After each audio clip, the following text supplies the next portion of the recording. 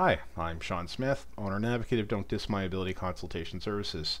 Today I'm going to show you how to use the text-to-speech software that's built right into your Apple computer. By clicking on the Apple and bringing up System Preferences, we will go to the Dictation and Speech icon, and you can see that text-to-speech is highlighted. There are different system voices that you can choose from. I've chosen Daniel from the UK, but as you can see, you can choose different people from different countries, and of course, they'll have different accents. The reason why I've chosen Daniel is because I find his voice is the easiest to understand and sounds the least robotic of all the voices.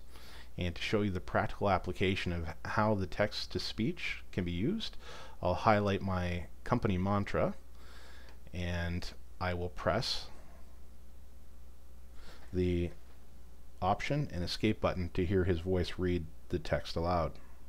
Don't diss my ability. I may not learn in a conventional manner, but this does not mean I cannot learn.